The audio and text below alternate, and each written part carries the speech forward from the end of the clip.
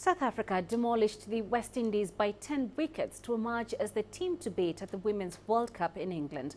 The Islanders were dismissed for a paltry 48, their second lowest total in history and the sixth in the history of the tournament. CGTN Sias du Plessis has more. It certainly has been a dream run for the Proteas, who never expected to be in such a commanding position. But the women in green and gold have been building up to it.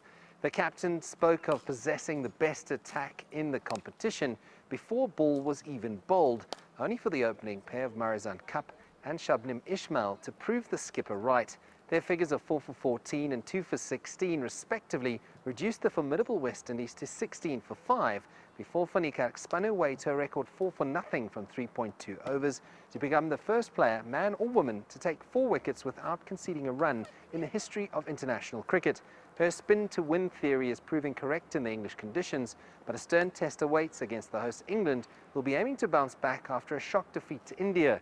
Should the bowlers fire again for the South Africans, it will make life difficult for their opposition. Still four games to play, though, before the knockout stages, and at this rate, you'd expect to see the team who reached the semi-final 17 years ago back competing for the biggest prize in women's cricket.